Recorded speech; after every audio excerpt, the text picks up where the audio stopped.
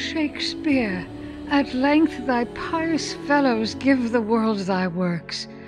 Thy works by which outlive thy tomb, thy name must, when that stone is rent and time dissolves thy Stratford monument, here we alive will view thee still.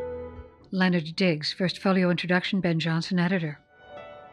Notice the hyphen. It's a pen name.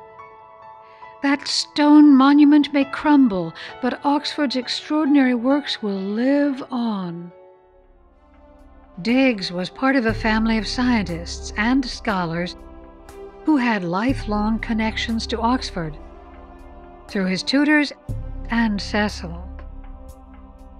Coincidentally, Digges' father was overseer of the 1616 Last Testament of Will Shakespeare, whose estate included a bed, but not one book nor one letter.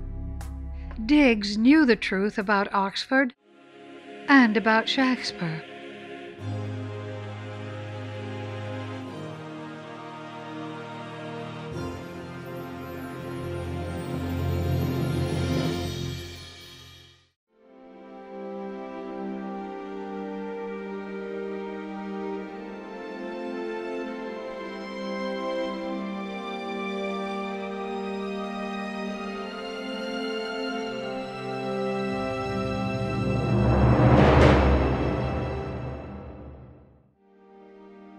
Oxford moved to King's Place in Hackney in 1591. This was where, in peace, he spent his last years turning his plays into literature.